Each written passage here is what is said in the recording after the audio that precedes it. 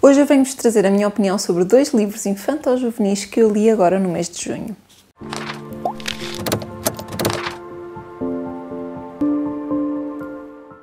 Olá pessoal, espero que estejam bem, espero que estejam a aproveitar o calor. Eu sou aquela pessoa que adora calor. Eu não me dou bem com o inverno e mesmo quando está muito calor, eu prefiro ao inverno. Prefiro tentar arrefecer-me do que tentar aquecer-me. espero que estejam bem, espero que estejam a fazer boas leituras. Quem sabe aproveitar este sol para ir fazer umas leituras para a beira da piscina, do rio, na praia, no campo, quem sabe. Acho que há sempre muitas opções agora no verão. Eu hoje venho-vos trazer a opinião de dois livros, um mais infantil e outro mais juvenil, que li agora no mês de junho. Ambos são de autoras portuguesas, portanto já de têm tudo para serem recomendados e ambos estou a incluir agora no projeto de junho da nossa querida Fátima do canal Abrir o Livro, que tem um desafio de ler autores portugueses agora este mês. Um, eu acho sempre ótimo recomendarmos novos autores portugueses, autores que estão a começar, autores que não são tão conhecidos e na literatura infantil acho que isso ainda é mais importante porque nós na literatura infantil muitas vezes vamos pela capa, pelo desenho, pelo grafismo do livro e muitas vezes não nos preocupamos tanto com o conteúdo e acho que há imensos autores infantis portugueses que nem sempre são valorizados ou lembrados e acho sempre muito interessante inserir nestes desafios autores que não são tão conhecidos. O primeiro livro que eu tenho aqui para vos falar é o Tenham lá paciência, os livros também têm sentimentos. Este livro é da Silvia Barros, que teve a gentileza de me contactar e de me oferecer o livro dela. Ele está publicado pela Cordel de Prata, é um lançamento bastante recente, portanto saiu agora há pouco, em março, Uh, portanto, assim mesmo uma coisinha muito fresquinha ainda para vocês. Eu partilhei no meu book haul que o carteiro amassou este livro, ele está aqui um bocadinho dobrado a metê-lo na minha caixa de correio. Uh, portanto, torna-se um bocadinho irónico o livro chamar-se Tenham lá paciência que os livros também têm sentimentos, porque é isso que me apetece dizer ao carteiro. Mas eu não faça isso. Não amassa livros. Isso é feio. Portanto, calhou tudo aqui muito, muito bem. Esta é uma leitura infantil e é sobre os sentimentos dos livros, sobre a valorização dos livros. E deixem-me desde já dizer que foi uma leitura muito divertida, que eu li seguida e que me deixou também a pensar e a refletir, e eu acho que isso é ótimo quando acontece. Então, nós neste livro temos a história narrada por um livro em particular. Eu vou-vos tentar mostrar que ele tem aqui uma ilustração logo no início a apresentar-se. Este livro chama-se Era uma vez um rei muito misterioso. Exatamente. E é este senhor livro assim. e ele começa logo a apresentar-se, dizer quem é, e a contar-nos a história dele. Portanto, temos aqui esta personificação do livro e temos aqui o livro a contar a história dele, como é que ele foi comprado a primeira vez, ah, como é que ele foi tantas vezes lido, tantas vezes adorado, tantas vezes usado para. Uh, para sonhar, né? para brincar, temos aqui a dona dele a recebê-lo a primeira vez. Um, só que o livro está-nos a contar esta história do passado dele porque aconteceu-lhe algo de inesperado, ou seja, a dona dele cresceu. A dona dele cresceu e tem-o deixado sempre de lado. E ele agora está um bocadinho apreensivo porque não está a perceber o que é que está a acontecer.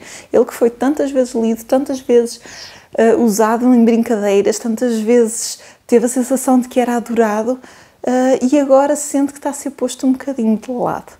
É uma história que reflete esta questão do crescimento, de nós termos histórias que nos impactam, se calhar, numa fase da nossa vida, neste caso na infância. Há tantas histórias infantis que eu pessoalmente sinto que me marcaram na infância e que hoje em dia, se calhar, leria com alguma nostalgia, mas se calhar não teriam o mesmo impacto, não me fariam sonhar tanto, talvez. Uh, e é um livro que apela precisamente aos sentimentos dos livros. Uh, percebemos que cada livro acaba por ser único porque nenhuma pessoa lê o mesmo livro da mesma forma e também a não deixar os livros parados na estante quando há tantas pessoas que poderiam estar a ler aquele livro e estar a partilhar desse amor que nós temos por esse livro. Eu ainda há uns tempos partilhei aqui convosco a conversar no canal que tenho livros antigos e alguns que não leio há anos e este livro deixou-me mesmo a pensar sobre alguns livros que eu tenho aí parados e que se calhar não voltarei a ler e que se calhar outra pessoa haveria de adorar ler. E este livro passa-nos esta mensagem toda de um ponto de vista bastante infantil, portanto adequado a crianças, e ao mesmo tempo passa-nos esta coisa de os livros terem sentimentos, de adorarem ser lidos, de adorarem ter as histórias deles a fazer-nos a nós felizes. Uh, e acho que para qualquer amante de livros isso é só de si uma delícia. O livro está muito giro, tem assim estes, este layout, este grafismo todo assim, então temos aqui os textos, depois temos imensas ilustrações, acho que já estou-vos a mostrar as mesmas que já vos mostrei. Aqui ela ler, um, tem assim este toque de desenho assim um bocadinho mais moderno, esta é imagem que está na capa. Uh, Deixem-me ver se eu consigo encontrar aqui mais umas ilustrações para vos mostrar. Aqui temos a dona do livro já grandinha. Temos aqui um arranha-céus de livros e é engraçado porque quando o livro chegou cá a casa e chegou amassado, a autora Uh, eu disse à autora que chegou amassada e que o pus debaixo de uma pilha de livros e ela riu-se e comentou qualquer coisa de eu o pôr num arranha-céus de livros. E eu calculei que teria alguma coisa a ver com a história e de facto assim é. Um, mas é, é um livro muito divertido, muito fácil de ler e que qualquer criança irá gostar. Eu vou só ler aqui o prefácio, que é de Paula Devesa, porque eu acho que transmite muito bem esta questão da mensagem do livro. Mais do que lembrar a relação afetuosa que se estabelece entre o livro e o leitor, esta obra acrescenta uma intencionalidade, a da partilha. Um livro esquecido numa estante poderia fazer uma criança feliz numa outra casa qualquer. Nesta história, a autora promove, e bem, esta continuidade. O livro, aqui personificado, obriga-nos a vê-lo numa perspectiva diferente, uma mensagem poderosa que deveria chegar a todas as crianças. Acho que resume perfeitamente este livro. Foi uma leitura muito divertida, muito fácil de fazer e que eu acho que é uma ótima leitura para recomendar a crianças que se estejam mesmo a apaixonar pela leitura, que estejam a estabelecer essa relação com os livros uh, e talvez até crianças que já estejam a crescer e que já tenham livros que deixam para trás a ganhar pão na estante, que se calhar já não ligam tanto e se calhar poderemos incentivar esta continuidade de dar esses livros ou de dar a conhecer esses livros a outras crianças. Portanto, mais uma vez, obrigada à autora pela cedência exemplar e fica aqui a minha recomendação para que vão conhecer a Silvia Barros e este livrinho dela. A outra autora e outro livro que eu tenho aqui, também autora portuguesa, como já referi, é Albertina Seco e o livro é Os Olhos Azuis de MH. Este livro é, está publicado pela Tinda por uma linha um, e já é juvenil. Aqui os protagonistas têm entre 13 a 14 anos. Ainda assim, a linguagem é muito acessível, uh, não tem conteúdo muito uh, forte ou violento, nem nada que se pareça. Portanto, eu diria que se vocês já têm uma criança para quem querem recomendar livros, uma criança, sei lá, mais crescida, que já está a entrar naqueles livros da pré-adolescência, eu diria que ela poderia ler este livro sem qualquer problema. Um, portanto, estou a falar com crianças já de uma faixa etária mais crescida, até porque isto já tem bastante mais texto mas que se calhar já estão a tentar mergulhar nas coisas mais para adolescentes ou para pré-adolescentes, eu ser, seria o público-alvo para eu recomendaria este livro. Então, Os Olhos Azuis de MH começa com outra personagem que não é MH, que é o Malu. O Malu é o diminutivo de Mário Augusto e é um rapaz que se mudou há pouco tempo para uma nova escola um, e é colega de turma aqui da nossa MH. E no início da história ele refere que a professora de português lhes pediu uma entrevista. Eles têm que entrevistar alguém e entregar esse trabalho. E ele já sabe quem é que quer entrevistar. Ele quer entrevistar um homem que está sempre perto do portão da escola, um homem sem abrigo. Só que da vez que tenta entrevistá-lo, ele não lhe responde a nada e simplesmente parece que desliga e não lhe diz nada. Então o Malu pensa: ah, pronto, ele não me respondeu, mas não faz mal. Eu imagino aqui as respostas que ele me teria dado às minhas perguntas e entrego o trabalho na mesma. O que é que acontece? No dia a seguir, esse sem-abrigo que está ali todos os dias desaparece. E então o Malu parte nesta busca de ir encontrar este fisgas, este sem-abrigo que desapareceu e que ninguém sabe onde é que está. Ao mesmo tempo, temos aqui em perspectivas alternadas a nossa MH. E a perspectiva que temos dela é bastante interessante porque é um diário. É o diário que ela escreve e os pensamentos dela sobre o dia. Eles são colegas de escola e rapidamente se unem para procurar aqui o Fisgas e vão se unir a outros colegas da turma também, outros colegas lá da escola para encontrar o Fisgas.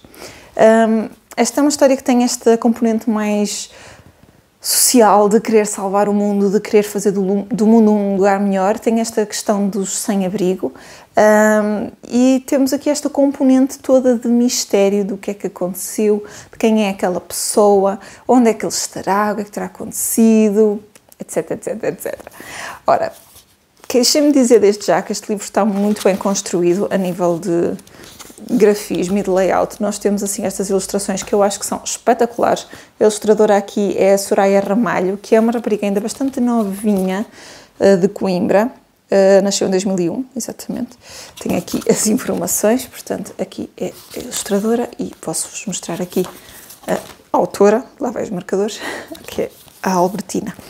Um, o livro está muito bem conseguido, tem estes desenhos aqui pelo meio, deixem-me ver se consigo mostrar. Portanto, na introdução de cada capítulo temos uma, uma coisinha de tinta, que tem tudo a ver. Nas pausas entre os capítulos temos aqui as pegadas de um cão, porque o nosso sem-abrigo tem um cãozinho de estimação.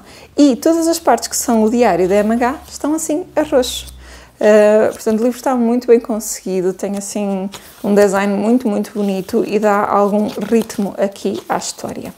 Nós temos assim estas ilustrações que eu acho que já que estão espetaculares, como já disse. Tem assim uns desenhos muito, muito giros. Um, dá para perceber que, pronto, que são, é um público adolescente e que as personagens são adolescentes. Eu achei que alguns diálogos não são exatamente o que um adolescente diria, ou seja, um adolescente não usaria aquela expressão hoje em dia, nem aquelas palavras, mas percebo que o intuito da, da autora aqui também foi transmitir isto de uma forma bastante acessível e numa linguagem bastante mais limpa. Um, e no final temos aqui um grande plot twist que uh, acho que nós vamos percebendo o que é que se está a aproximar, mas no final, mesmo assim, conseguimos ser surpreendidos. A autora surpreende-nos mesmo depois do final da história principal. Uh, e eu acho que isso também está muito bem conseguido. É muito, muito difícil hoje em dia encontrarmos livros dedicados para a faixa etária aqui da pré-adolescência, livros que funcionem de transição entre a idade da infância e os adolescentes em que já leem jovem, jovem adulto. Portanto, acho que é muito de valorizar livros e de dar a conhecer livros que se posicionam aqui nestas faixas etárias que são muito difíceis de comercializar e de dar a conhecer, precisamente, mas que fazem muita, muita, muita falta. Portanto, fica aqui a minha recomendação para que procurem este livrinho também, Os Olhos Azuis de MH, que venham a conhecer estas autoras, estas e outras autoras portuguesas que se estão agora a lançar e que divulguem os trabalhos delas. E é isso, pessoal. Aqui fica a minha opinião sobre dois livrinhos infantis juvenis. Digam-me em baixo se já conheciam, se ficaram curiosos, se têm crianças de volta de uma faixa etária mais jovem ou já um bocadinho mais crescida, se têm dificuldades em encontrar livros para elas. Contem-me tudo aí em baixo. Não se esqueçam de deixarem um gosto neste vídeo, de partilharem com todos os vossos amigos e subscrever o canal se não tiverem feito. E eu vejo-vos a todos no próximo vídeo. Até lá fiquem bem e boas leituras!